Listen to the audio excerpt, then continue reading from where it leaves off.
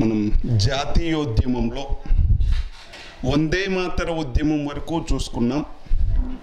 Next వందే మాతర ఉద్యమం తర్వాత భారతదేశంలో పంతొమ్మిది వందల పదిహేడు వరకు ప్రముఖమైనటువంటి ఉద్యమాలేవి జరగలేదు. ఎందుకని అంటే వందే మాతర ఉద్యమం లేకపోతే స్వదేశీ ఉద్యమంలో పాల్గొన్నటువంటి అతివాద నాయకులు బాలగంగాధర తిలక్ అనేటువంటి వ్యక్తిని పంతొమ్మిది వందల ఎనిమిదవ సంవత్సరంలో బ్రిటిష్ వారు అరెస్ట్ చేసి పంతొమ్మిది వందల ఎనిమిదవ సంవత్సరంలో బ్రిటిష్ వారు అరెస్ట్ చేసి వీరిని అంటే బాలగంగాధర తిలక్కును మాండలే జైలుకు తరలించడం జరిగింది. అంటే మాండలే జైల్ అనేటువంటిది బర్మాలో ఉండిద్ది. మయన్మార్లో ఉన్నటువంటి మాండలే జైలుకు పంపించారు పంతొమ్మిది వందల ఎనిమిదవ సంవత్సరంలో. ఇతనికి ఆరు సంవత్సరాల జైలు శిక్ష విధించడం జరుగుతుంది. దీనితో ఈ బాలగంగాధర తిలక్ అనేటువంటి వ్యక్తి మాండలే జైల్లో పంతొమ్మిది వందల పద్నాలుగు వరకు కూడా అంటే పంతొమ్మిది వందల ఎనిమిది నుంచి పంతొమ్మిది వందల పద్నాలుగు వరకు మాండలే జైల్లో ఉండడం జరిగింది. లాలా లజపత్ రాయ్ అనేటువంటి వ్యక్తిని దేశ బహిష్కరణ శిక్ష విధించడంతో ఇతడు అమెరికాకు వెళ్ళిపోవడం జరుగుతుంది. బిపిన్ చంద్రపాల్ అనేటువంటి వ్యక్తి రాజకీయాల నుంచి విరమించుకుని ఒక ఆధ్యాత్మికవేత్తలాగా మారిపోయాడు. అరవిందో ఘోష్ అనేటువంటి వ్యక్తి అరవిందో ఘోష్ అనేటువంటి వ్యక్తి ఒక సన్యాసిలాగా మారి ఈ పాండిచ్చేరి దగ్గర అరోవిల్లి అనేటువంటి ఆశ్రమాన్ని ఏర్పాటు చేసుకుని రాజకీయాల నుంచి తప్పుకోవడం జరిగింది. ఇలా అతివాద నాయకులందరూ కూడా రాజకీయాల నుంచి తప్పుకోవడము లేకపోతే జైళ్ళలో ఉండడము జరగడంతో ఈ స్వదేశీ ఉద్యమం లేకపోతే వందే మాత్రం ఉద్యమం తర్వాత చెప్పుకోదగినటువంటి జాతీయోద్యమాలు కార్యక్రమాలు ఏమీ జరగలేదు. బాలగంగాధర తిలక్ అనేటువంటి వ్యక్తి పంతొమ్మిది వందల పద్నాలుగో సంవత్సరంలో మాండలే జైలు నుంచి రిలీజ్ అయ్యి వచ్చిన తర్వాత భారతదేశానికి వచ్చిన తర్వాత ఇతను అంతకు ముందులాగా అంటే అతను మొదట ఎలా ఉండేవాడు అంటే భారతదేశానికి సంపూర్ణ స్వరాజ్యం కావాలి భారతదేశానికి కంప్లీట్ ఇండిపెండెన్స్ కావాలి అని కోరుకునేవాడు. స్వరాజ్యం నా జన్మకు దాన్ని సాధించి తీరుతాను అని ఒక అతివాదలాగా ఉన్నటువంటి ఒక ఎక్స్ట్రీమిస్ట్ లాగా ఉండేటువంటి బాలగంగాధర్ తిలక్ అనేటువంటి వ్యక్తి మాండలే జైలు నుంచి తిరిగి వచ్చిన తర్వాత ఒక అంటే అంతకు ముందులాగా అతివాదిలాగా లేడు కొంచెం మితవాదిలాగా మారడం జరిగింది. అంటే ఇప్పుడు ఏ మరి ఆయన వాయిస్ మారింది. ఎలా మారింది అంటే అంతకు ముందులాగా మాకు పూర్తి స్వతంత్రం ఏమీ అవసరం లేదు. మేము మీ బ- బ్రిటిష్ ఇండియాలో భాగంగా అంటే బ్రిటి బ్రిటన్ సామ్రాజ్యంలో భాగంగానే ఉంటాం.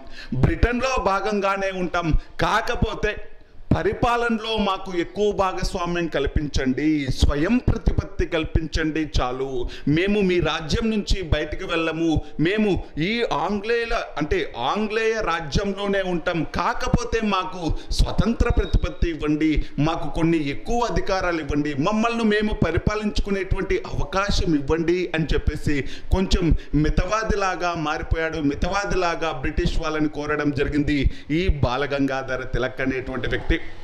ఈ బాలగంగాధర తిలక్ అనేటువంటి వ్యక్తి మాండలే జైలు నుంచి వచ్చిన తర్వాత మితవాదిలాగా మారాడు. ఇదే సమయంలో ఇదే సమయంలో ఐర్లాండ్ దేశం ఐర్లాండ్ అనేటువంటిది బ్రిటన్లో భాగమండి. ఐర్లాండ్ దేశం అనేటువంటిది బ్రిటన్లో భాగం. మనకు ఒక చిన్న వేరియేషన్ ఉండిద్ది చూడండి. ఇంగ్లాండ్ అనేటువంటిది బ్రిటన్ అనేటువంటిది రెండు డిఫరెంట్. ఇంగ్లాండ్ వేరు బ్రిటన్ వేరు ఇంగ్లాండ్ అంటే ఒక దేశం అంతే. ఇంగ్లాండ్ అనేటువంటిది ఒక దేశం. అదే బ్రిటన్ అనుకో బ్రిటన్ అన్నాము అనుకో యునైటెడ్ కింగ్డమ్ యూకే అంటే ఏమొస్తుంది అంటే ఇంగ్లాండు దాంతోపాటు Wales Scotland Wales Scotland Ireland. వీటన్నిటినీ కలిపి ఏమని పిలుస్తారు అంటే బ్రిటన్ అని గ్రేట్ బ్రిటన్ అని పిలవడం జరుగుతుంది. ఇంగ్లాండ్ అనేటువంటిది ఒక దేశం. అది సపరేట్. బ్రిటన్ అంటే ఏమొస్తుంది అంటే ఈ నాలుగు రాజ్యాల కూటమి. England Wales Scotland Ireland. ఈ నాలుగు దేశాల కూటమిని బ్రిటన్ గ్రేట్ బ్రిటన్ అని పిలవడం జరుగుతుంది. పంతొమ్మిది వందల పదహారు పదిహేడు సంవత్సరం నాటికి ఐర్లాండ్లో స్వతంత్రోద్యమం అనేటువంటిది జరుగుతూ ఉంటుంది. ఈ స్వతంత్రోద్యమం అనేటువంటిది జరుగుతున్నప్పుడు ఈ బ్రిటిష్ వారు ఐర్లాండ్ వాళ్ళకు స్వయం ప్రతిపత్తి కల్పించడం జరిగింది. అంటే ఈ ఐర్లాండ్ దేశం వాళ్ళు చేసినటువంటి ఉద్యమాల ఫలితంగా ఐర్లాండ్కి స్వయం ప్రతిపత్తి కల్పించడం జరిగింది. అంటే బ్రిటిష్ రాజ్యంలో భాగంగానే ఉంటూ ఈ ఐర్లాండ్కు స్వయం ప్రతిపత్తి కల్పించారు. అంటే వాళ్ళని వాళ్ళు పరిపాలించుకునేటువంటి అవకాశం కల్పించారు బ్రిటిష్ వారు. దీనిని చూసి ఇన్స్పైర్ అయినటువంటి బాలగంగాధర తిలక్ మెయిన్గా ఇంకొక వ్యక్తి ఐర్లాండ్ దేశానికి చెందినటువంటి వ్యక్తి అనిబీసెంట్ అనేటువంటి వాళ్ళు. ఐర్లాండ్ దేశానికి చెందినటువంటి మహిళ అనిబీసెంట్ ఈ అనిబీసెంట్ బాలగంగాధర తిలక్ అనేటువంటి వాళ్ళు. ఐర్లాండ్ దేశానికి ఎలాగైతే స్వతంత్ర ప్రతిపత్తి కల్పించారో బ్రిటన్ రాజ్యంలో భాగంగా ఉంటూ స్వతంత్ర ప్రతిపత్తి ఐర్లాండ్ దేశానికి ఎలా కల్పించారో భారతదేశానికి కూడా అటువంటి స్వతంత్ర ప్రతిపత్తి ఇవ్వండి మమ్మల్ని మేము పరిపాలించుకునేటువంటి అవకాశం ఇవ్వండి అని బ్రిటిష్ వాళ్ళని కోరడం జరిగింది. ఇలా మనల్ని అంటే భారతదేశానికి స్వతంత్ర ప్రతిపత్తి కావాలి మనల్ని మనం పరిపాలించుకునేటువంటి అవకాశం కావాలి అని భారతీయులు చేసినటువంటి ఇంకొక ప్రముఖమైనటువంటి ఉద్యమమే హోమ్ రూల్ ఉద్యమం అనేటువంటిది. ఈ హోమ్ రూల్ ఉద్యమం అనేటువంటి దాని గురించి నేర్చుకుందాం. ఏంటి అసలు హోమ్ రూల్ ఉద్యమం అంటే ఏంటి? హోమ్ రూల్ ఉద్యమాన్ని ఎవరు ప్రారంభించారు? హోమ్ రూల్ ఉద్యమం ఎక్కడ ఎక్కడ ఎలా జరిగింది అనేటువంటి దీని ఫలితంగా వచ్చినటువంటి మార్పులేంటి? హోమ్ రూల్ ఉద్యమం. హోమ్ రూల్ ఉద్యమం అనేటువంటిది పంతొమ్మిది వందల పదహారో సంవత్సరం నైన్టీన్ సిక్స్టీన్ హోమ్ రూల్ ఉద్యమం అనేటువంటిది పంతొమ్మిది వందల పదహారో సంవత్సరం ప్రారంభమైంది. హోమ్ రూల్ అంటే స్వయం పాలన అని అర్థం. హోమ్ రూల్ అంటే స్వయం పాలన. మరి ఈ సమయంలో పంతొమ్మిది వందల పదహారో సంవత్సరంలో ఈ ఉద్యమం చేయవలసినటువంటి అవసరం ఏమొచ్చింది అంటే మనందరికీ తెలుసు మొదటి ప్రపంచ యుద్ధం అనేటువంటిది పంతొమ్మిది వందల పద్నాలుగు నుంచి పంతొమ్మిది వందల పద్దెనిమిది నవంబర్ వరకు జరిగింది.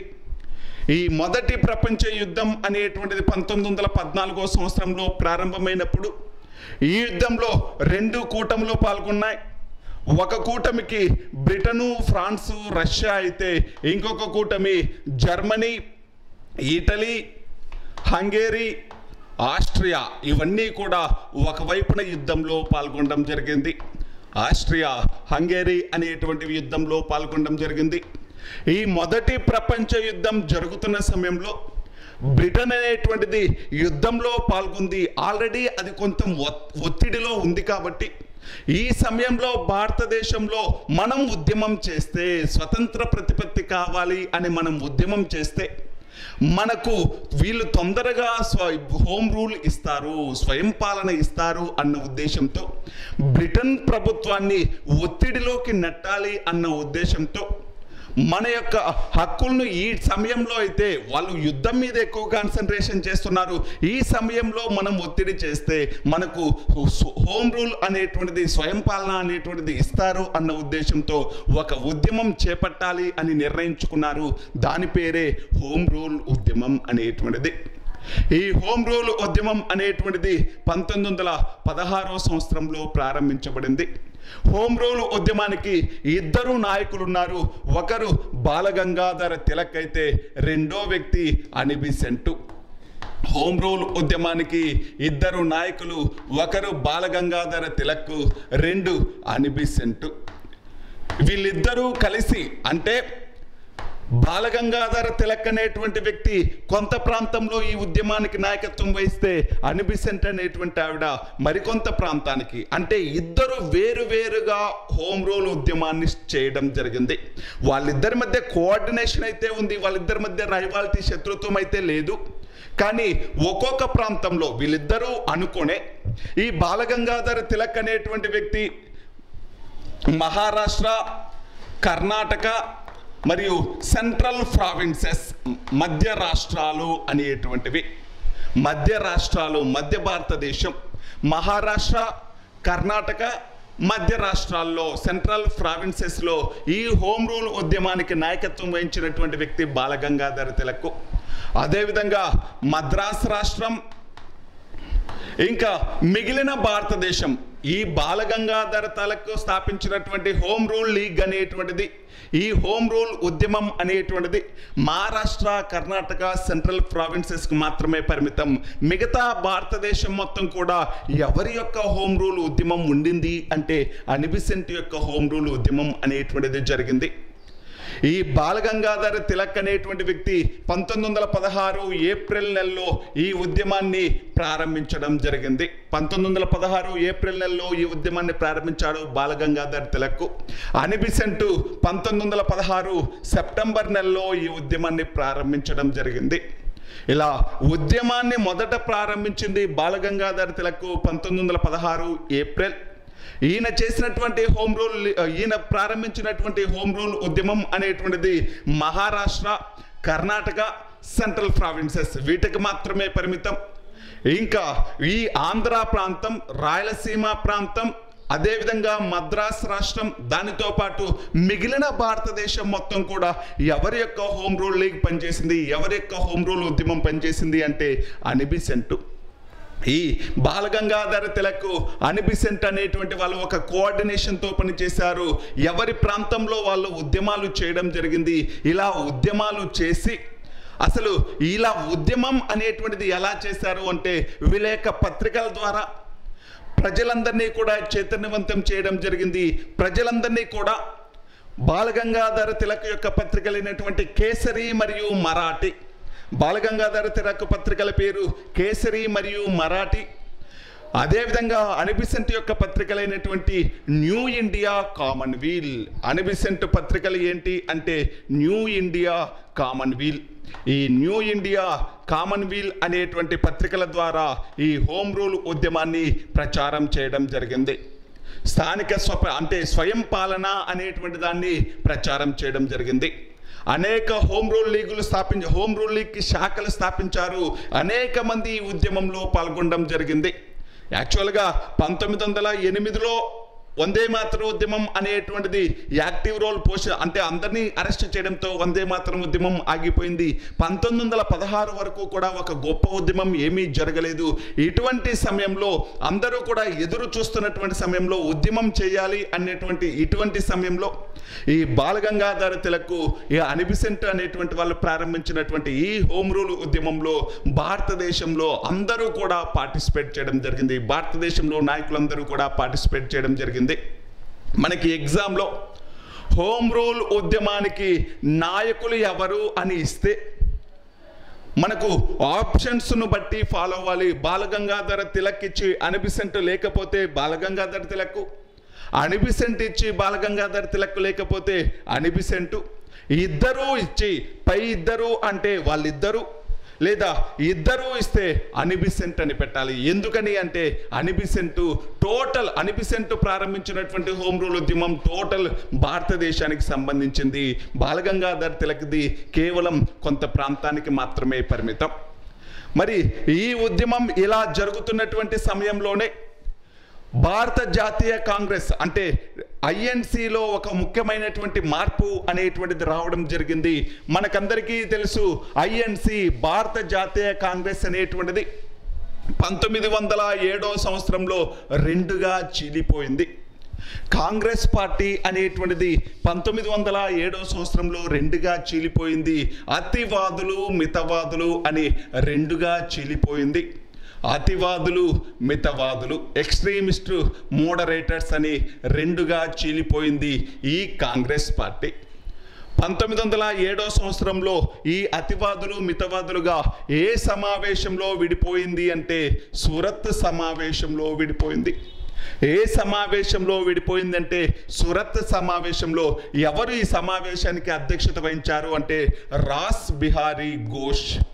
రాస్ బిహారీ ఘోష్ అధ్యక్షతన జరిగినటువంటి ఈ సమావేశంలో కాంగ్రెస్ పార్టీ రెండుగా చీలిపోయింది.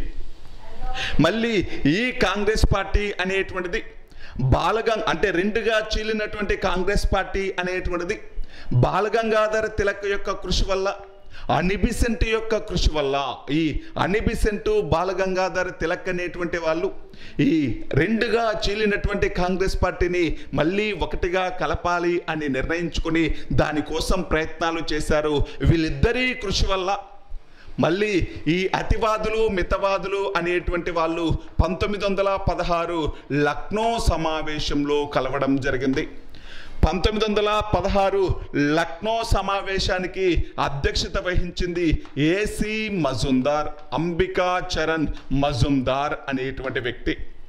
ఈ పంతొమ్మిది వందల పదహారు లక్నో సమావేశంలో ఏసీ మజుందార్ అధ్యక్షతన జరిగినటువంటి ఈ సమావేశంలో అతివాదులు మితవాదులు అనేటువంటి వాళ్ళు మళ్ళీ కలిసిపోవడం జరిగింది. ఇలా కాంగ్రెస్ పార్టీ పంతొమ్మిది వందల ఏడో సంవత్సరంలో సూరత్ స- సూరత్లో జరిగిన సమావేశంలో చీలిపోయింది. పంతొమ్మిది వందల పదహారు లక్నోలో జరిగినటువంటి సమావేశంలో వీళ్ళిద్దరూ కూడా కలిసిపోయారు. ఇంకా అతివాదులు మితవాదులు కలిసిపోయిన తర్వాత ఉద్యమం అనేటువంటి దానికి ఒక్కసారిగా అంటే ఉద్యమం అనేటువంటిది ఉధృతి పెరిగింది. అంతకు ముందు కంటే కూడా చాలా ఉధృతంగా ఈ హోమ్ రూల్ ఉద్యమం అనేటువంటిది చేశారు. మెయిన్ వీళ్ళ యొక్క లక్ష్యాలు ఏంటి అంటే హోమ్ రూల్ ఉద్యమం యొక్క ప్రధాన లక్ష్యాలు ఏంటి అంటే ఒకటి స్థానిక అంటే ఇక్కడ ఉండేటువంటి భారతీయుల చేతే పరిపాలన చేయించడం. అంటే పరిపాలనలో భా భారతీయుల యొక్క భారతీయుల యొక్క ప్రాధాన్యతను పెంచడం. అంటే స్వయం ప్రతిపత్తి కల్పించడం. రెండోది భాషా ప్రయుక్త రాష్ట్రాలను ఏర్పాటు చేయడం. భాషను ఆధారంగా రాష్ట్రాలను ఏర్పాటు చేయడం. చట్టసభల్లో భారతీయులకి ఎక్కువ ప్రాధాన్యత కల్పించడం అనేటువంటివి ప్రధాన ఉద్దేశాలుగా ఈ హోమ్ రూల్ ఉద్యమం అనేటువంటిది చేయడం జరిగింది. ఈ హోమ్ రూల్ ఉద్యమం అనేటువంటిది అతివాదులు మితవాదులు ఇద్దరూ కలిసిపోయిన తర్వాత ఇంకా ఉద్యమాన్ని చాలా ఎక్కువ ఉధృతిగా చేయడం జరిగింది. ఈ సమయంలోనే ఈ హోమ్ రూల్ ఉద్యమం జరుగుతున్న సమయంలోనే పంతొమ్మిది వందల పదహారో సంవత్సరంలో అనిబిసెంట్ మదనపల్లి దగ్గర బీసెంట్ థియోసాఫికల్ కాలేజీని స్థాపించడం జరిగింది. అనిబిసెంట్ మదనపల్లె దగ్గర చిత్తూరు జిల్లాలో మదనపల్లె దగ్గర బీసెంట్ థియోసాఫికల్ కాలేజీని స్థాపించడం జరిగింది. బీసెంట్ థియోసాఫికల్ కాలేజ్ అనేటువంటి దాన్ని స్థాపించింది ఎవరు అంటే అనిబిసెంట్ ఈ అనిబిసెంట్ అనేటువంటి ఆవిడ ఐర్లాండ్ దేశానికి చెందినటువంటి మహిళ. ఐర్లాండ్ దేశానికి చెందినటువంటి అనిబిసెంటు దివ్యజ్ఞాన సమాజానికి అధ్యక్షత వహించింది తర్వాత కాలంలో. దివ్యజ్ఞాన సమాజంలో ప్రముఖ నాయకురాలిగా ఉంటూ భారతదేశం యొక్క సంస్కృతి సంప్రదాయాలకి ఇక్కడ ఉండేటువంటి ఆచార వ్యవహారాలు వీటన్నిటినీ నచ్చి భారతదేశంలో ఈ బ్రిటిష్ వాళ్ళ వల్ల ఎదుర్కొంటున్నటువంటి ప్రజల యొక్క కష్టాలను అంటే ప్రజల యొక్క కష్టాలను తొలగించాలి అని భారతదేశం యొక్క స్వతంత్రోద్యమంలో పాల్గొంది ఈ Annie Besant Annie Besant New India Commonweal అనేటువంటి రెండు పత్రికలు స్థాపించింది ఈమె బీసెంట్ థియోసాఫికల్ కాలేజ్ అనేటువంటి దాన్ని పంతొమ్మిది వందల పదహారులో స్థాపించింది అనిబిసెంట్. ఈ అనిబిసెంట్కి ఒక ఇంపార్టెంట్ ఏపీ హిస్టరీలో గ్రూప్ టూలో ఎప్పుడు అడిగేటువంటి బిట్టు అనిబిసెంట్ యొక్క దత్తత పుత్రుడు ఎవరు అని ఎప్పుడు అడుగుతూ ఉంటాడు. అనిబిసెంట్ యొక్క దత్తత పుత్రుడు జిడ్డు కృష్ణమూర్తి. అనిబిసెంట్ యొక్క దత్తపుత్రుడు ఎవరు అంటే జిడ్డు కృష్ణమూర్తి. ఈ జిడ్డు కృష్ణమూర్తి అనేటువంటి వ్యక్తి ప్రముఖ అంటే ఇతను ఫిలాసఫర్ ఒక ఆధ్యాత్మికవేత్త.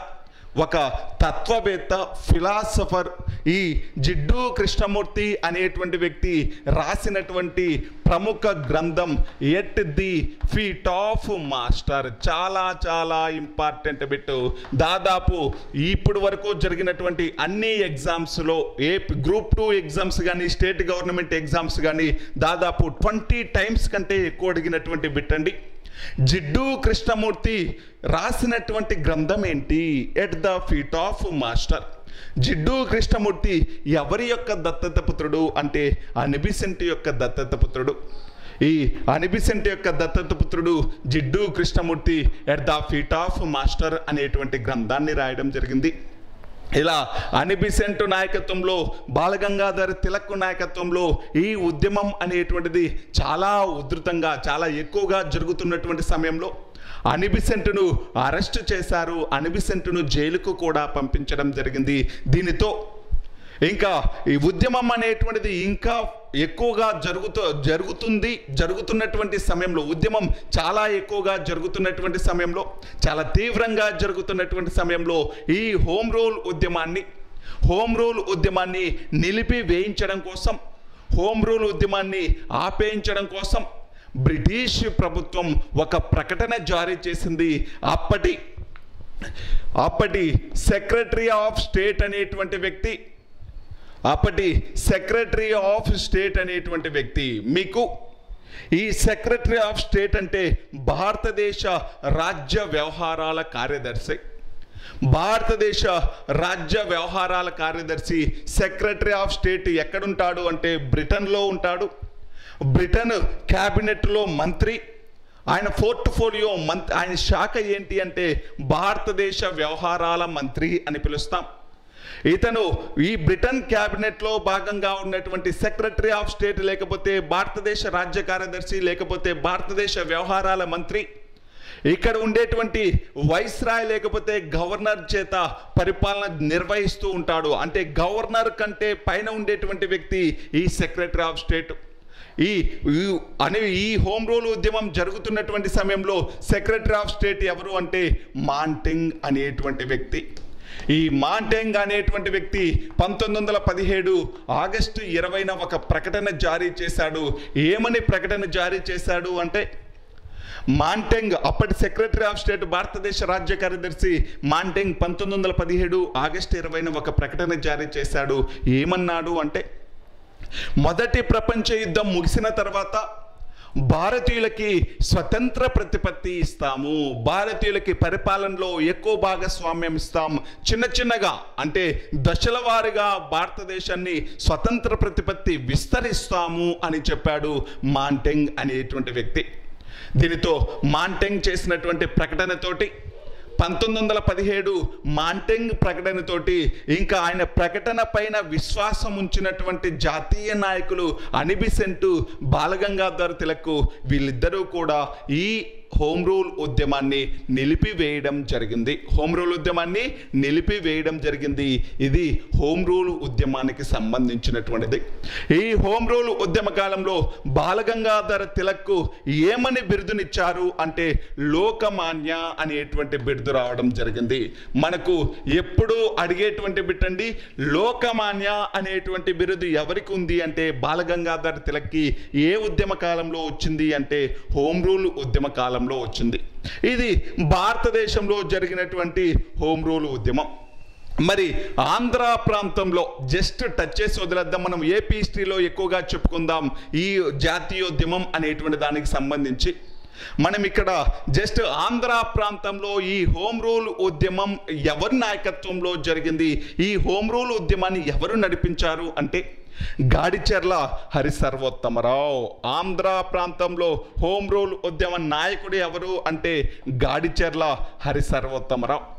ఈ గాడిచెర్ల హరిసర్వోత్తమరావు అనేటువంటి వ్యక్తిని ఏమని పిలుస్తారు అంటే ఆంధ్ర తిలక్ అని పిలవడం జరుగుతుంది.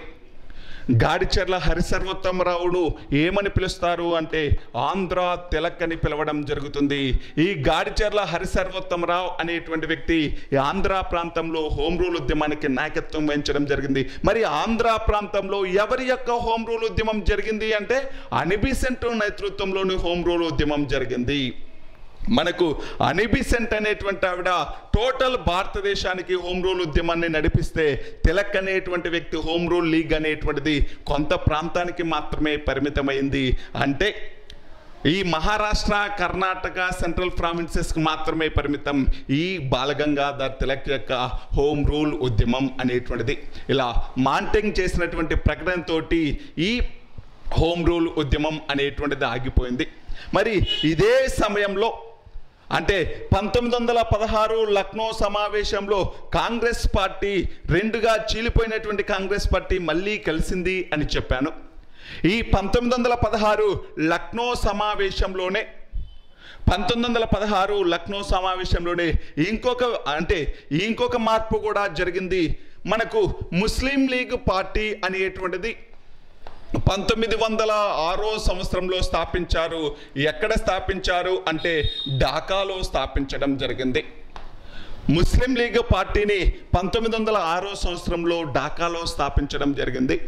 ముస్లింల యొక్క ప్రయోజనాలు కాపాడడం కోసం ముస్లింలకు ప్రత్యేక నియోజకవర్గాలు ఏర్పాటు చేయాలని ముస్లింలకి కొన్ని రిజర్వేషన్లు అనేటువంటివి అమలు చేయాలి అని ముస్లిం మెజారిటీ ప్రాంతాలకు సపరేట్ రాష్ట్రాలుగా ప్రత్యేక రాష్ట్రాలుగా చేయాలని కొన్ని డిమాండ్లతోటి ముస్లిం లీగ్ పార్టీ అనేటువంటి దాన్ని పంతొమ్మిది వందల ఆరో సంవత్సరంలో ఏర్పాటు చేశారు ముస్లిం కొంతమంది ముస్లిం నాయకులు.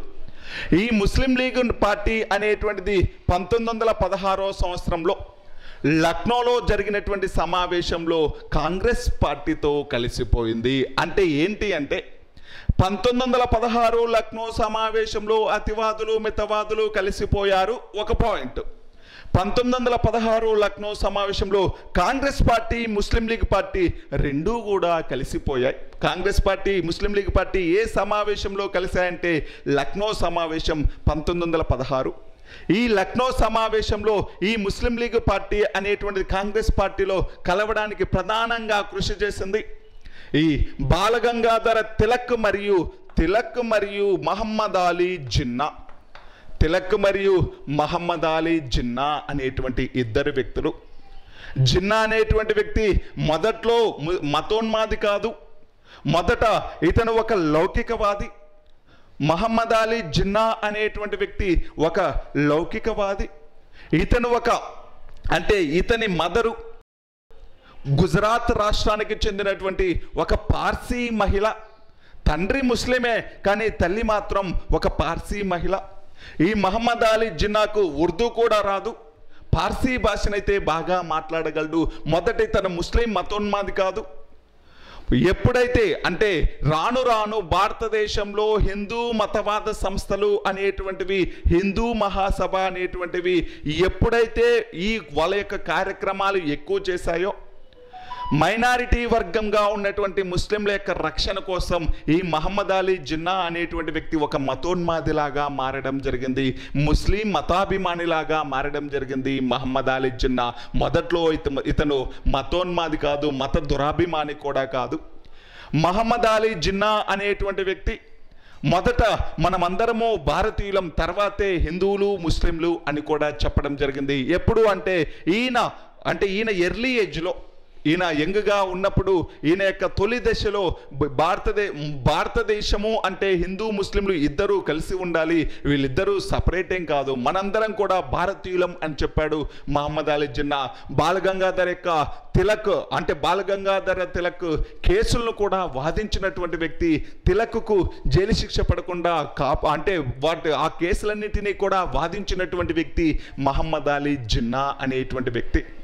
కానీ తర్వాత కాలానికి వచ్చేసరికి తర్వాత దశకు వచ్చేసరికి ఇతను పాకిస్తాన్ అనేటువంటి దేశం ఏర్పాటు చేయడంలో ప్రముఖ పాత్ర పోషించి పాకిస్తాన్ దేశ జాతిపిత లేకపోతే పాకిస్తాన్ పితామహుడిలాగా పిలువబడ్డాడు మహమ్మద్ అలీ జిన్నా. ఈ మహమ్మద్ అలీ జిన్నా బాలగంగాధర్ తిలక్ ఇద్దరి యొక్క కృషి ఫలితంగా పంతొమ్మిది వందల పదహారు లక్నో సమావేశంలో ఈ ముస్లిం లీగ్ పార్టీ ఈ అదేవిధంగా కాంగ్రెస్ పార్టీ రెండు కూడా కలిసిపోవడం జరిగింది. మరి ఈ ముస్లిం లీగ్ పార్టీ ఏ షరతుల మీద కాంగ్రెస్ పార్టీలో కలిసిపోయింది అంటే ఏ షరతుల మీద ముస్లిం లీగ్ పార్టీ కాంగ్రెస్ పార్టీతో కలిసిపోయింది అంటే మనకు పంతొమ్మిది వందల తొమ్మిది మింటో మార్లే సంస్కరణలు తెలుసు. పంతొమ్మిది వందల తొమ్మిది మింటో మార్లే సంస్కరణలు ఏం చెప్తాయి అంటే పంతొమ్మిది వందల తొమ్మిది మింటో మార్లే సంస్కరణలు?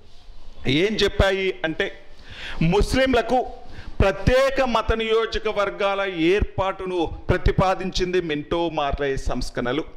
పంతొమ్మిది వందల తొమ్మిదో సంవత్సరంలో మింటో మార్లే సంస్కరణలు ఏం చెప్తాయి మెయిన్ పాయింట్ ఏంటి అంటే ముస్లింలకు ప్రత్యేక నియోజకవర్గాలు ప్రత్యేక నియోజకవర్గాలు అంటే దీన్ని మనం ఎలా అర్థం చేసుకోవాలి అంటే ఒక నియోజకవర్గంలో అన్ని మతాల వాళ్ళు హిందువులు ఉంటారు ముస్లింలు ఉంటారు క్రిస్టియన్స్ ఉంటారు అందరూ ఉంటారు. మరి వీళ్ళందరూ ఉన్నప్పుడు ముస్లింలు అనేటువంటి వాళ్ళు జనాభాలో తక్కువ శాతం ఉన్నారు కాబట్టి మైనారిటీలుగా ఉన్నారు కాబట్టి ఈ ముస్లింలు అనేటువంటి వాళ్ళు కూడా నార్మల్గా నిలబడితే నియోజకవర్గాలలో ఒక క్యాండిడేట్ నార్మల్ క్యాండిడేట్గా నిలబడితే వాళ్ళు మైనారిటీగా ఉన్నారు కాబట్టి వాళ్ళు శాసనసభలకు చట్టసభలకు వెళ్ళలేరు కాబట్టి ముస్లింలకు ప్రత్యేక ప్రతిపత్తినివ్వండి అంటే ముస్లింలకు ప్రత్యేక నియోజకవర్గాలు సపరేట్ కాన్స్టిట్యూషన్ ఏర్పాటు చేయండి అని చెప్పడం జరిగింది. అసలు సపరేట్ కాన్స్టిట్యూషన్స్ అంటే ఏంటి అంటే ముస్లింలకు ఒక ప్రత్యేక ప్రతినిధి నిలబడడం జరుగుతుంది. అంటే హిందువులు దానితో పాటు క్రిస్టియన్స్ దాంతోపాటు పార్సీలు సిక్కులు వీళ్ళందరికీ కలిపి ఒక ప్రతినిధి నిలబడతాడు. అదేవిధంగా ముస్లింల కోసం ప్రత్యేకంగా ఇంకొక ప్రతి ఇంకొక ప్రతినిధి నిలబడడం జరుగుతుంది. అంటే ఈ ముస్లిం ప్రతినిధి నిలబడిన తర్వాత ఈ ముస్లిం ప్రతినిధికి ఓట్లేసే వాళ్ళు కూడా ముస్లింలే. ఇంకా మిగతా క్యాస్ట్ వారు ఓట్లు వేయరు. అంటే ముస్లింల యొక్క నాయకుడిని ముస్లింలే ఎన్నుకుంటున్నారు. ప్రతి నియోజకవర్గానికి ఒక ముస్లిం ప్రతినిధి ఒక ముస్లిం నాయకుడు అనేటువంటి వాడు ఉంటాడు ఒక ముస్లిం ప్రతినిధి అనేటువంటి వాళ్ళు ఉంటారు. ఇది సపరేట్ కాన్స్టిట్యున్సీ. ప్రత్యే ముస్లింలకు ప్రత్యేక నియోజకవర్గాలు అంటే ఇది. ప్రతి నియోజకవర్గంలో కూడా ఒక ముస్లిం ప్రతినిధి ఉంటాడు. ఈ ముస్లిం ప్రతినిధిని ముస్లింలే ఎన్నుకోవాలి అనేటువంటిదే ఈ సపరేట్ కాన్స్టిట్యూషన్. ఇలా ముస్లింలకు ప్రత్యేక నియోజకవర్గాలు ఏర్పాటు చేసినటువంటి సంస్కరణలు పంతొమ్మిది వందల తొమ్మిది మింటో మార్లే సంస్కరణలు.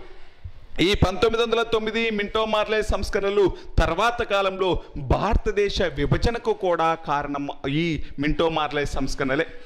భారతదేశం రెండుగా ఏ ప్రాతిపదికన చీలింది అంటే మత ప్రాతిపదికన చీలింది.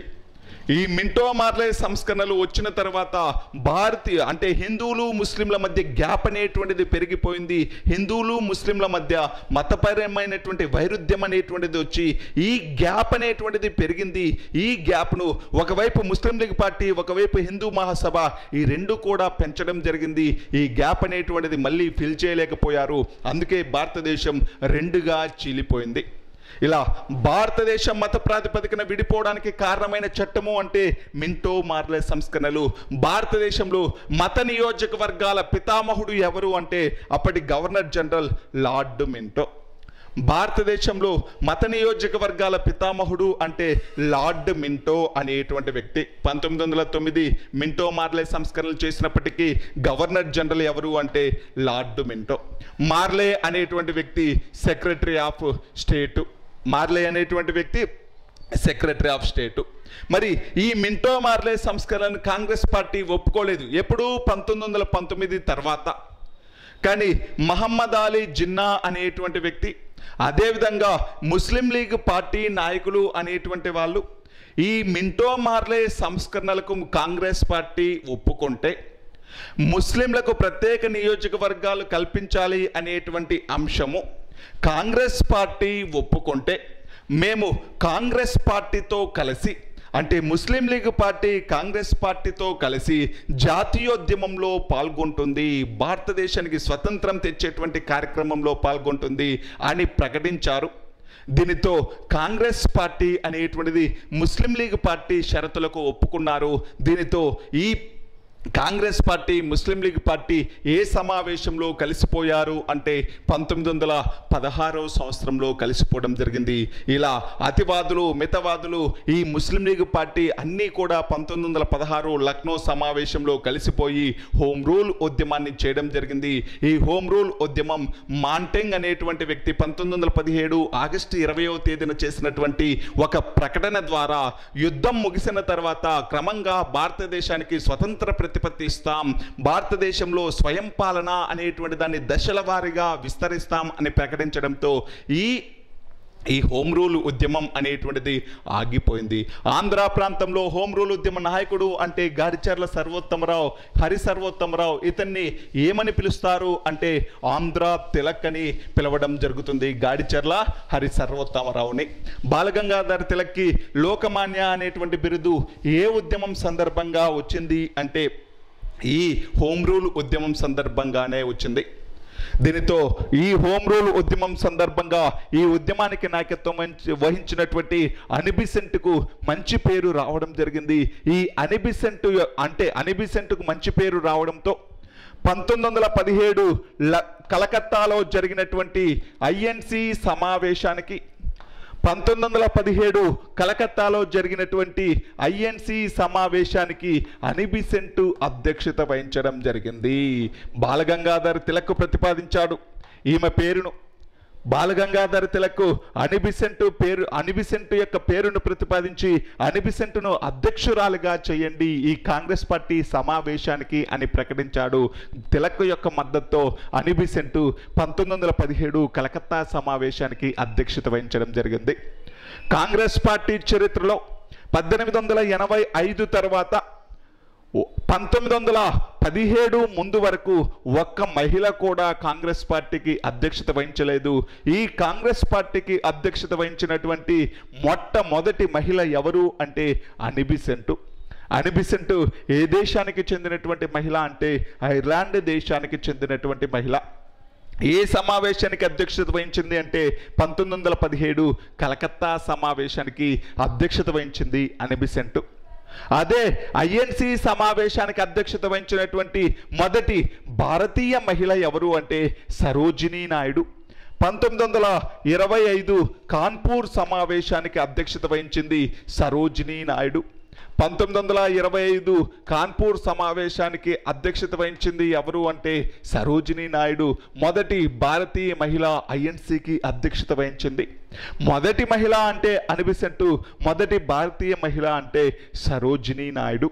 ఇది హోమ్ రూల్ ఉద్యమానికి సంబంధించినటువంటిది హోమ్ రూల్ ఉద్యమానికి సంబంధించింది. ఈ మాంటెంగ్ అనేటువంటి వ్యక్తి చేసినటువంటి ప్రకటనతోటి హోమ్ రూల్ ఉద్యమం ఆగిపోయింది అని చెప్పుకున్నాం. మరి మొదటి ప్రపంచ యుద్ధం ముగిసిన తర్వాత పంతొమ్మిది వందల పద్దెనిమిది నవంబర్లో ముగిసిన తర్వాత మాంటెంగ్ చేసినటువంటి ప్రకటన ప్రకారం బ్రిటిష్ వారు ఒక చట్టం చేశారు. అదే పంతొమ్మిది వందల పంతొమ్మిది మాంటెంగ్ చెమ్స్ఫర్డ్ సంస్కరణలు. పంతొమ్మిది వందల పంతొమ్మిది భారత ప్రభుత్వ చట్టం లేకపోతే పంతొమ్మిది వందల పంతొమ్మిది మాంటెంగ్ చెమ్స్ఫర్డ్ సంస్కరణలు. ఈ మాంటెంగ్ చెంస్ఫర్డ్ సంస్కరణలు వీటన్నిటి గురించి మనం చట్టాలు అనేటువంటి టాపిక్లో క్లారిటీగా అన్నీ చెప్పుకుందాం. ఇక్కడ జస్ట్ కంటెంట్ ఒక్కటే చెప్తాను. ఈ మాంటెంగ్ చెమ్స్ఫర్డ్ సంస్కరణలు అనేటువంటివి అప్- రాష్ట్రాలలో ద్వంద్వ ప్రభుత్వాన్ని ప్రవేశపెట్టడం జరిగింది. రాష్ట్రాలలో డయార్కిని ప్రవేశపెట్టారు. ద్వంద్వ ప్రభుత్వం అంటే పరిపాలన అంశాలను రెండుగా విభజించారు. ట్రాన్స్ఫర్డ్ అంశాలు రిజర్వ్డ్ అంశాలు. ట్రాన్స్ఫర్డ్ అంశాలు అంటే భారతీయులకు బదిలీ చేసినటువంటి అంశాలు. రిజర్వ్డ్ అంశాలు అంటే బ్రిటిష్ వాళ్ళ దగ్గరే ఉండేటువంటి అంశాలు. ఇలా ద్వంద్వ ప్రభుత్వం అనేటువంటిది రాష్ట్రాల్లో ప్రవేశపెట్టారు. అదేవిధంగా ద్విసభా విధానం అనేటువంటిది కేంద్రంలో ప్రవేశపెట్టడం జరిగింది. ద్విసభా విధానం ఎక్కడ ప్రవేశపెట్టారు అంటే కేంద్రంలో ప్రవేశపెట్టడం జరిగింది. ఈ మాంటెంగ్ చెమ్స్ఫర్డ్ సంస్కరణలు అంటే మాంటెంగ్ చెమ్స్ఫర్డ్ సంస్కరణలో ఎక్కడా కూడా భారతదేశానికి స్వతంత్ర ప్రతిపత్తి కల్పించాలి అనేటువంటి విషయం లేదు. భారతదేశానికి స్వయం ప్రతిపత్తి ఇస్తాము అని మాంటెంగ్ ప్రకటించాడు పంతొమ్మిది వందల పదిహేడులో. కానీ పంతొమ్మిది వందల పంతొమ్మిది చట్టంలో ఎక్కడా కూడా స్వయం ప్రతిపత్తి అనేటువంటి అంశం లేదు. భారతదేశంలో భారతీయులకు ఎక్కువ ప్రాతినిధ్యం అనేటువంటి అంశం లేదు. కానీ రాష్ట్రాలలో ద్వంద్వ ప్రభుత్వం అనేటువంటి దాన్ని ప్రవేశపెట్టారు. రాష్ట్రాల ద్వంద్వ ప్రభుత్వం ప్రవేశపెట్టినప్పటికీ ప్రతి దానిపైన కూడా అధికారం ఎక్కువ మేజర్ అంశాలపైన మెజార్టీ అంశాలపైన అధికారం గవర్నర్ జనరల్కు ఉండడంతో ఈ మాంటెంగ్ చంప్స్ఫర్డ్ సంస్కరణలను వ్యతిరేకించాలి అని నిర్ణయించుకోవడం జరిగింది. మాంటెంగ్ చంస్ఫర్డ్ సంస్కరణలను మనము అంగీకరించరాదు అని నిర్ణయించడం జరిగింది. ఇటువంటి సమయంలోనే భారతదేశంలో సహాయ నిరాకరణోద్యమం అనేటువంటిది వచ్చింది. పంతొమ్మిది వందల ఇరవై నుంచి ఇరవై రెండు వరకు. ఈ సహాయ నిరాకరణోద్యమం అనేటువంటిది పంతొమ్మిది వందల ఇరవై ఆగస్టు ఒకటి నుంచి ప్రారంభమయ్యి పంతొమ్మిది వందల ఇరవై రెండు ఫిబ్రవరి పన్నెండవ తేదీన ముగిసింది. ఫిబ్రవరి ఐ పంతొమ్మిది వందల ఇరవై రెండు ఫిబ్రవరి ఐదో తేదీన చౌరీ చౌరా ఉత్తరప్రదేశ్లోని గోరఖ్పూర్ జిల్లాలో చౌరీ చౌరా అనేటువంటి ప్రాంతంలో జరిగినటువంటి హింసాత్మక సంఘటన వల్ల ఈ సహాయ నిరాకరణ ఉద్యమం నాన్ కోఆపరేషన్ మూమెంట్ అనేటువంటి దాన్ని నిలిపివేయడం జరిగింది. నిలిపివేసినట్టు ప్రకటించాడు. ఎక్కడి నుంచి అంటే బార్డోలు నుంచి మహాత్మా గాంధీ ఏ రోజున అంటే పంతొమ్మిది వందల ఇరవై రెండు ఫిబ్రవరి పన్నెండవ తేదీన. ఈ సహాయ నిరాకరణోద్యమం సమయంలో భారతదేశంలో అనేక అంటే భారతదేశంలో సహాయ నిరాకరణ ఉద్యమంలో అనేక స్వదేశీ విద్యాలయాలు స్థాపించారు. అనేక స్వదేశీ క- కర్మాగారాలు ఫ్యాక్టరీలు స్థాపించడం జరిగింది. దీనితో పాటు ఈ ఉద్యమం సమయంలో విదేశీ వస్త్రాలను తగలబెట్టేసి విదేశీ వస్త్రాలను తగలబెట్టేసి భారతీయ వస్తువులను ఎక్కువగా ఉపయోగించారు. భారతీయ పరిశ్రమలకు ఎక్కువగా ప్రోత్సహించడం జరిగింది. ఈ సహాయ నిరాకరణోద్యమం సమయంలో పంతొమ్మిది వందల ఇరవై ఒకటో సంవత్సరంలో భారతదేశంలో విదేశీ విద్యాలయాలు బహిష్కరించారు కాబట్టి మరి ఈ విద్యార్థులందరూ కూడా చదువుకోవడం కోసం కొన్ని వి- అంటే కొన్ని యూనివర్సిటీస్ను కూడా స్థాపించారు. పంతొమ్మిది వందల ఇరవై ఒకటో సంవత్సరంలో Jamia Millia Islamic university. Jamia Millia Islamic university అనేటువంటి దాన్ని పంతొమ్మిది వందల ఇరవై ఒకటిలో స్థాపించారు. అదేవిధంగా పంతొమ్మిది వందల ఇరవై ఒకటిలోనే కాశీ విద్యాపీఠం గుజరాత్ విద్యాపీఠాన్ని స్థాపించడం జరిగింది. కాశీ విద్యాపీఠాన్ని గుజరాత్ విద్యాపీఠాన్ని కూడా స్థాపించారు పంతొమ్మిది వందల ఇరవై ఒకటో సంవత్సరంలోనే. ఇలా స్వదేశీ విద్యాలయాలు అనేటువంటివి స్థాపించడం జరిగింది. అదేవిధంగా పంతొమ్మిది వందల ఇరవై ఒకటో సంవత్సరంలో పంతొమ్మిది వందల ఇరవై ఒకటో సంవత్సరంలో బెంగాల్ నేషనల్ కాలేజీకి సుభాష్ చంద్రబోస్ను అధ్యక్షుడిగా కూడా ప్రకటి అంటే సుభాష్ చంద్రబోస్ అనేటువంటి వ్యక్తి పంతొమ్మిది వందల ఇరవై ఒకటో సంవత్సరంలో బెంగాల్ నేషనల్ కాలేజీకి ప్రెసిడెంట్గా కూడా పనిచేశాడు. ఇలా సహాయ నిరాకరణోద్యమం అనేటువంటిది దాదాపు రెండున్నర సంవత్సరాలు జరిగింది. కానీ మహాత్మా గాంధీ సహాయ నిరాకరణోద్యమం నిలిపివేయడంతో సహాయ నిరాకరణోద్యమం నిలిపివేయడంతో ఇంకా బ్రిటిష్ ప్రభుత్వం ఈ ఉద్యమంలో పాల్గొన్నటువంటి అనేక మంది జాతీయ నాయకుల్ని అరెస్ట్ చేసింది మహాత్మా గాంధీని కూడా అరెస్టు చేసి ఆరు సంవత్సరాలు జైలు శిక్ష విధించడం జరిగింది. మహాత్మా గాంధీని కూడా సహాయ నిరాకరణోద్యమం ముగిసిన తర్వాత అరెస్టు చేసి ఆరు సంవత్సరాలు జైలు శిక్ష విధించడం జరిగింది. దీంట్లో మళ్ళీ నాయకులు అనేటువంటి వాళ్ళు లేకుండా పోయారు. మహాత్మా గాంధీని అరెస్ట్ చేయడంతో మెయిన్ నాయకుడిని అరెస్ట్ చేయడంతో మళ్ళీ జాతీయవాద కార్యక్రమాలు కొన్ని రోజులు అలా స్తబ్దుగా ఉండిపోయాయి. అంటే అలా ఎటువంటి మార్పు లేకుండా అలాగే కొనసాగాయి. ఇటువంటి సమయంలో భారతదేశ రాజకీయ చరిత్రలో ఒక మార్పును తీసుకురావడం కోసం ప్రయత్నించినటువంటిది ఒక చిన్న కార్యక్రమం జరిగింది. ఒక చిన్న పార్టీ ఏర్పాటు చేశారు. దాని పేరే స్వరాజ్ పార్టీ అనేటువంటిది. దాని పేరు ఏంటి అంటే స్వరాజ్ పార్టీ. ఇది చాలా చాలా ఇంపార్టెంట్ అండి ఎగ్జామ్ పాయింట్ ఆఫ్ వ్యూలో. స్వరాజ్ పార్టీ. దీనినే ఆల్ ఇండియా ఖిలాఫత్తు పార్టీ అని కూడా పిలవడం జరుగుతుంది. All India Khilafat party. Swaraj party దీన్నే ఆల్ ఇండియా ఖిలాఫత్ పార్టీ అని కూడా పిలవడం జరుగుతుంది. స్వరాజ్ పార్టీని ఎప్పుడు కూడా అడిగేటువంటి బిట్టు ఏ సంవత్సరం ఏర్పాటు చేశారు? సంవత్సరం పంతొమ్మిది వందల ఇరవై మూడో సంవత్సరంలో స్వరాజ్ పార్టీ. అంటే పంతొమ్మిది వందల ఇరవై రెండు డిసెంబర్ ముప్పై ఒకటి. అంటే పంతొమ్మిది వందల ఎగ్జామ్లో మనకు ఏ ఇయర్ అంటే మనం ఏం పెట్టాలి? పంతొమ్మిది వందల ఇరవై మూడు. పంతొమ్మిది వందల ఇరవై మూడులో స్వరాజ్ పార్టీ అసలు ఎందుకు ఏర్పడింది? స్వరాజ్ పార్టీ ఏర్పడాల్సినటువంటి అవసరం ఏముంది? అంతకుముందే కాంగ్రెస్ పార్టీ ఉంది కదా.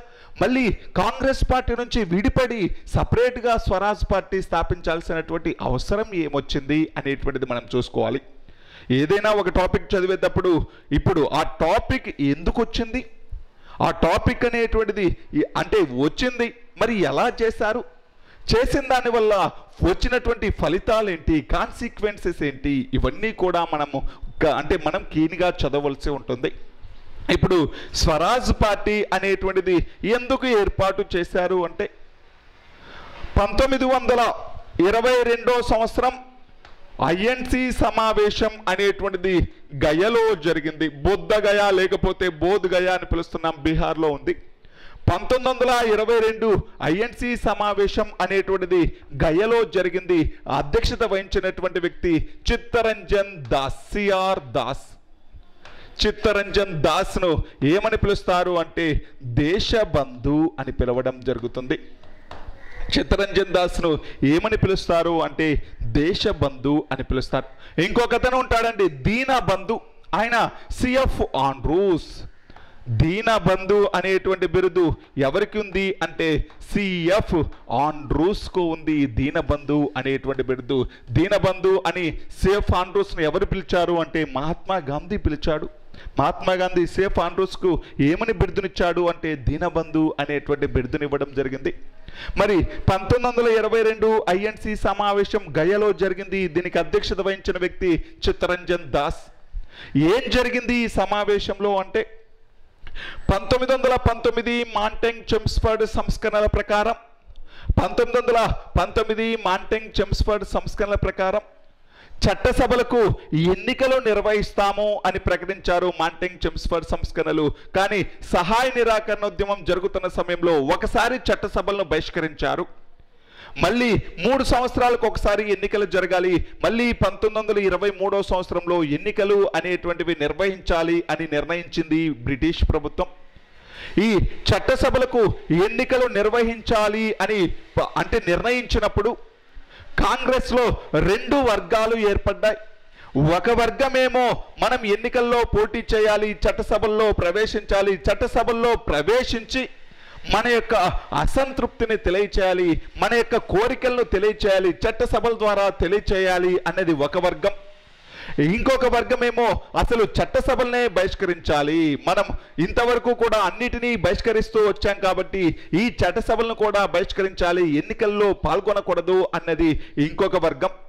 ఈ రెండు వర్గాలు అనేటువంటివి కాంగ్రెస్ పార్టీలో ఏర్పడ్డాయి. మొదటి వర్గం అంటే మొదటి వర్గం ఎవరు అంటే చిత్తరంజన్ దాస్ నేతృత్వంలో ఉంది ఏంటి ఈ వర్గం అంటే? చట్టసభల్లో పాల్గొనాలి ఎన్నికల్లో పోటీ చేయాలి అని నిర్ణయించారు ఈ మొదటి వర్గం. రెండవ వర్గానికి నాయకులు ఎవరు అంటే రాజు వీళ్ళందరూ మహాత్మా గాంధీ అనుచరులండి. రాజగోపాలాచారి వల్లభాయ్ పటేల్. రాజగోపాలాచారి వల్లభభాయ్ పటేల్ అనేటువంటి వాళ్ళు వీళ్ళందరూ కూడా గాంధీ అనుకూలురు. మహాత్మా గాంధీ ఏమన్నాడు అంటే చట్టసభలను బహిష్కరించాలి అన్నాడు. మరి మహాత్మా గాంధీ కోరిక మేరకు మనము ఎన్నికల్లో పోటీ చేయకూడదు అని ఒక వర్గం కోరుకుంది. ఎన్నికల్లో పోటీ చేయాలి అని ఇంకొక వర్గం కోరుకుంది.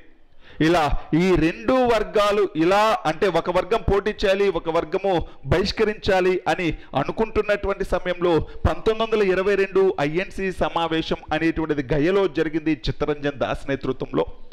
ఈయన అధ్యక్షుడి హోదాలో చిత్తరంజన్ దాసు ఎన్నికల్లో పాల్గొనాలి అనేటువంటి బిల్లుని ప్రవేశపెట్టడం జరిగింది ఈ సమావేశంలో. కానీ ఎక్కువ మంది గాంధీ అనుచరులు ఉండడంతో మహాత్మా గాంధీ కోరిక మేరకు చట్టసభలను బహిష్కరించాలి అని ఎక్కువ మంది కోరుకోవడంతో చిత్తరంజన్ దాస్ యొక్క తీర్మానం అనేటువంటిది వీగిపోతుంది ఓడిపోతుంది. దీనితో ఈ చిత్తరంజన్ దాస్ అనేటువంటి వ్యక్తి తన యొక్క అంటే ఎన్నికల్లో పాల్గొనాలి అనేటువంటి వ్యక్తులు ఇంకా కొంతమంది ఉన్నారు. వాళ్ళందరితోటి బయటకు వచ్చి కాంగ్రెస్ పార్టీ నుంచి బయటకు వచ్చి కొత్తగా ఒక పార్టీని స్థాపించారు. దాని పేరే స్వరాజ్ పార్టీ. కేవలం ఎన్నికల్లో పాల్గొనాలి అని వీళ్ళు నిర్ణయించారు. పాల్గొనకూడదు అని గాంధీ అనుచరులు నిర్ణయ నిర్ణయించారు. ఈ ఈ విషయం మీద డిఫరెన్సెస్ వచ్చి కాంగ్రెస్ పార్టీ రెండుగా చీలిపోయింది. అది స్వరాజ్ అంటే కాంగ్రెస్ పార్టీ నుంచి బయటకు వచ్చి స్వరాజ్ పార్టీగా ఏర్పడింది. ఈ స్వరాజ్ పార్టీకి ఎవరు ఏర్పాటు చేశారు అంటే చిత్తరంజన్ దాస్. స్వరాజ్ పార్టీకి మొదటి అధ్యక్షుడు ఎవరు అన్న చిత్తరంజన్ దాస్. ఈ స్వరాజ్ పార్టీలో చిత్తరంజన్ దాస్తో పాటు ఇంకొక ప్రముఖ నాయకులు ఎవరు అంటే మోతిలాల్ నెహ్రూ. జవహర్లాల్ నెహ్రూ యొక్క ఫాదర్ అండి మోతిలాల్ నెహ్రూ. స్వరాజ్ పార్టీకి ప్రెసిడెంట్ అయితే చిత్తరంజన్ దాసు దీనికి సెక్రటరీగా ఎవరు పనిచేశారు అంటే మోతిలాల్ నెహ్రూ. ఇంకొక ప్రముఖ నాయకుడు విఠల్ భాయ్ పటేల్ వల్లభాయ్ పటేల్ యొక్క సోదరుడండి విఠల్ భాయ్ పటేల్. ఈ విఠల్ భాయ్ పటేల్ అనేటువంటి వ్యక్తి వీళ్ళు ఈ స్వరాజ్ పార్టీలో ప్రముఖ నాయకులుగా ఉన్నారు. ఈ స్వరాజ్ పార్టీ అనేటువంటిది అంటే కాంగ్రెస్ పార్టీ నుంచి విడిపోయి ఎన్నికల్లో పాల్గొనాలి అని నిర్ణయించడం జరిగింది. దీనితో ఈ స్వరాజ్ పార్టీ అనేటువంటిది ఎన్నికల్లో పాల్గొంది. ఎన్నికల్లో పాల్గొని మొత్తం నూట నలభై ఐదు సీట్లకు కానీ నలభై ఎనిమిది సీట్లను సాధించడం జరిగింది. నూట నలభై ఐదు సీట్లకు నలభై ఎనిమిది సీట్లను సాధించింది ఈ స్వరాజ్ పార్టీ అనేటువంటిది. అంటే తక్కువ కాలం ఎన్నికల్లో పోటీ చేయడానికి కేవలం ఒక రెండు నుంచి మూడు నెలలు మాత్రమే ఉంది. ఈ సమయంలో ఒక పార్టీని ఫామ్ చేసి ఆ పార్టీ తరపున అంటే ఈ క్యాండిడేట్స్ని నిలబెట్టి నలభై ఎనిమిది సీట్లు గెలుపొందడం అనేటువంటిది అంత సామాన్యమైన విషయం కాదు. స్వరాజ్ పార్టీ అనేటువంటిది మంచి సీట్లను సాధించింది. దీనితో పాటు మహమ్మద్ అలీ జిన్నా నాయకత్వంలోని స్వతంత్ర పార్టీ అనేటువంటిది ఇరవై నాలుగు సీట్లు సాధించింది. జిన్నా నేతృత్వంలోని స్వతంత్ర పార్టీ ఇరవై నాలుగు సీట్లు సాధించింది. వీళ్ళిద్దరూ కలిసి ప్రభుత్వాన్ని ఏర్పాటు చేయడం జరిగింది. స్వరాజ్ పార్టీ జిన్నా నాయకత్వంలోని స్వతంత్ర పార్టీ ఇద్దరూ కలిసి పార్టీని అంటే ప్రభుత్వాన్ని ఏర్పాటు చేయడం జరిగింది. ఈ ప్రభుత్వానికి శాసనసభలో స్పీకర్గా పనిచేసిన వ్యక్తి చెప్పుడు అడిగేటువంటి బిట్టండి శాసనసభకు మొట్టమొదటిసారిగా అధ్యక్షత వహించిన స్పీకర్గా పనిచేసినటువంటి మొట్టమొదటి భారతీయుడు ఎవరు అంటే విఠల్ బాయ్ పటేల్. స్వరాజ్ పార్టీ నాయకుడైనటువంటి విఠల్ బాయ్ పటేల్ అనేటువంటి వ్యక్తి ఈ శాసనసభలో స్పీకర్గా పనిచేయడం జరిగింది. ఇలా స్వరాజ్ పార్టీ అనేటువంటిది ప్రభుత్వాన్ని ఫామ్ చేసి చట్టసభల్లో బ్రిటిష్ వారి నిర్ణయాలకు వ్యతిరేకంగా పోరాడింది. బ్రిటిష్ వారి యొక్క నిర్ణయాలను బహిష్కరించింది. బ్రిటిష్ వారి యొక్క నిర్ణయాల్లో ఉండేటువంటి తప్పులను ఎత్తి చూపుతూ ఉంది. ఇలా ఈ స్వరాజ్ పార్టీ అనేటువంటి చేసేటువంటి ఈ అంటే స్వరాజ్ పార్టీ శాసనసభలో చేసేటువంటి ఈ కార్యక్రమాల ద్వారా స్వరాజ్ పార్టీ యొక్క అంటే ఒత్తిడి వల్ల బ్రిటిష్ ప్రభుత్వం అనేటువంటిది పంతొమ్మిది బ్రిటిష్ ప్రభుత్వం అనేటువంటిది పంతొమ్మిది వందల ఇరవై నాలుగో సంవత్సరంలో ఒక కమిటీని ఏర్పాటు చేసింది మడ్డీమాన్ కమిటీ అనేటువంటిది.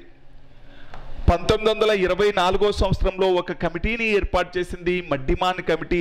ఏంటి ఈ కమిటీ? ఎందుకు ఏర్పాటు చేశారు అంటే పంతొమ్మిది వందల పంతొమ్మిది మాంటెంగ్ చెమ్స్ఫర్డ్ సంస్కరణలను పరిశీలించడానికి పంతొమ్మిది వందల పంతొమ్మిది మాంటెంగ్ చెమ్స్ఫర్డ్ సంస్కరణలో ఉండేటువంటి లోపాలను సరిచేయడానికి ఈ మడ్డిమాన్ కమిటీ అనేటువంటి దాన్ని ఏర్పాటు చేసింది. ఈ మడ్డిమాన్ కమిటీ అనేటువంటి దాన్ని లేబర్ పార్టీ ఏర్పాటు చేసింది. బ్రిటన్లోని లేబర్ పార్టీ మడ్డిమాన్ కమిటీని ఏర్పాటు చేస్తుంది. కాకపోతే ఈ కమిటీ ఏర్పాటు చేసినటువంటి కొన్ని రోజులకే లేబర్ పార్టీ పడిపోయి కన్జర్వేటివ్ పార్టీ అధికారంలోకి రావడం జరిగింది. కన్జర్వేటివ్ పార్టీ అనేటువంటిది మడ్డిమాన్ కమిటీని వెనక్కి పిలిపించడం జరిగింది. మడ్డిమాన్ కమిటీని వెనక్కి పిలిపించడం జరిగింది. మడ్డిమాన్ కమిటీ ఆ ఏర్పాటు చేయడం అనేటువంటిది స్వరాజ్ పార్టీ యొక్క విజయమే. స్వరాజ్ పార్టీ యొక్క ఒత్తిడి ఫలితంగానే ఈ పంతొమ్మిది వందల పంతొమ్మిది మాంటింగ్ చెమ్స్ఫర్డ్ సంస్కరణలను పరిశీలించడానికి దానిలో లోపాలను సరిచేయడానికి ఈ కమిటీని ఏర్పాటు చేశారు. కానీ తర్వాత వచ్చినటువంటి కన్జర్వేటివ్ పార్టీ మడ్డిమాన్ కమిటీని వెనక్కి తీసుకోవడంతో ఈ ఈ మడ్డిమాన్ కమిటీ ఏర్పాటు చేయడం పెద్దగా ఫలితాన్ని సాధించలేదు. అంటే దాని ఉద్దేశాలు మాత్రం కరెక్టే కానీ మడ్డిమాన్ కమిటీ పూర్తికాలం పనిచేయకపోవడంతో ఈ కమిటీ అనేటువంటిది ఎటువంటి రిపోర్టు ఇవ్వలేదు. మడ్డిమాన్ కమిటీ అనేటువంటిది ఎటువంటి రిపోర్టు అనేటువంటిది ఇవ్వలేదు. ఈ స్వరాజ్ పార్టీ అనేటువంటిది కాంగ్రెస్ పార్టీ నుంచి బయటకు వచ్చి కాంగ్రెస్ ఈ పార్టీని ఏర్పాటు చేశారు అని చెప్పాం. కానీ పంతొమ్మిది వందల ఇరవై మూడవ సంవత్సరంలో మౌలానా అబుల్ కలాం ఆజాద్ పంతొమ్మిది వందల ఇరవై మూడవ సంవత్సరంలో మౌలానా అబుల్ కలాం ఆజాద్ అధ్యక్షతన జరిగినటువంటి కాంగ్రెస్ పార్టీ సమావేశంలో ఏమని నిర్ణయించారు అంటే కాంగ్రెస్ పార్టీకి రాజీనామా చేయవలసినటువంటి అవసరం లేదు. ఎప్పుడు స్వరాజ్ పార్టీలో పాల్ అంటే స్వరాజ్ పార్టీ తరపున ఎన్నికల్లో పాల్గొనాలి అంటే కాంగ్రెస్ పార్టీకి రాజీనామా చేయాల్సిన అవసరం లేదు. కాంగ్రెస్ పార్టీలోనే ఉంటూ మీరు స్వరాజ్ పార్టీ కార్యక్రమాల్లో పాల్గొనండి. కాంగ్రెస్ పార్టీలోనే ఉంటూ మీరు ఎన్నికల్లో పోటీ చేయండి అని తన మనసు కొంచెం మార్చుకుంది కాంగ్రెస్ పార్టీ. ఫస్ట్ ఏమంది? అసలు ఎన్నికల్లోనే పోటీ చేయకూడదు అని చెప్పింది కాంగ్రెస్ పార్టీ. కానీ ఒక సంవత్సరం తర్వాత ఇంకా ఈ స్వరాజ్ పార్టీ అనేటువంటి స్వరాజ్ పార్టీ తరపున ఎన్నికల్లో పోటీ చేయవచ్చు అని తన మనసు మార్చుకుంది కాంగ్రెస్ పార్టీ. దీనితోటి కాంగ్రెస్ పార్టీ స్వరాజ్ పార్టీ కలిసి పనిచేయడం ప్రారంభించాయి. కానీ పంతొమ్మిది వందల ఇరవై ఐదో సంవత్సరంలో చిత్తరంజన్ దాస్ మరణించడం జరిగింది. పంతొమ్మిది వందల అరవై ఇరవై ఐదో సంవత్సరంలో చిత్తరంజన్ దాస్ అనేటువంటి వ్యక్తి సిఆర్ దాస్ మరణించడం జరిగింది. ఈ పంతొమ్మిది వందల ఇరవై ఐదో సంవత్సరంలోనే లా ఈ స్వరాజ్ పార్టీలో ప్రముఖ నాయకుడిగా ఉన్నటువంటి లాలా లజపత్ రాయ్ అనేటువంటి వ్యక్తి తన పదవికి రాజీనామా చేయడం జరిగింది. దీనితో నాయకులు అనేటువంటి వాళ్ళు లేకపోవడంతో తర్వాత జరిగినటువంటి శాసనసభ ఎన్నికల్లో చట్టసభ ఎన్నికల్లో స్వరాజ్ పార్టీ అనేటువంటిది విఫలమైంది. నామమాత్రమైన సీట్లు కూడా సాధించలేదు. ఇంకా చివరికి స్వరాజ్ పార్టీ అనేటువంటిది కాంగ్రెస్ పార్టీలో మళ్ళీ కలిసిపోయింది. స్వరాజ్ పార్టీ అనేటువంటిది కాంగ్రెస్ పార్టీలో కలిసిపోయింది. స్వరాజ్ పార్టీ పంతొమ్మిది వందల ఇరవై మూడవ సంవత్సరంలో చిత్తరంజన్ దాస్ ఏర్పాటు చేశాడు. దీనికి అధ్యక్ష మొట్టమొదటి అధ్యక్షుడు చిత్తరంజన్ దాసు సెక్రటరీ మోతిలాల్ నెహ్రూ. ఈ స్వరాజ్ పార్టీ అనేటువంటిది ఎన్నికల్లో పాల్గొంది. ఎన్నికల్లో నూట నలభై సీట్లకు గాను నలభై ఎనిమిది సీట్లు సాధించింది. స్వరాజ్ పార్టీ ముస్లిం మహమ్మద్ అలీ జిన్నా యొక్క పార్టీ స్వతంత్ర పార్టీ ఇద్దరూ కలిసి ప్రభుత్వాన్ని ఏర్పాటు చేశారు. ఈ ప్రభుత్వానికి ఈ చట్టసభలో శాసనసభలో స్పీకర్గా పనిచేసిన వ్యక్తి విఠల్ భాయ్ పటేల్ అనేటువంటి వ్యక్తి.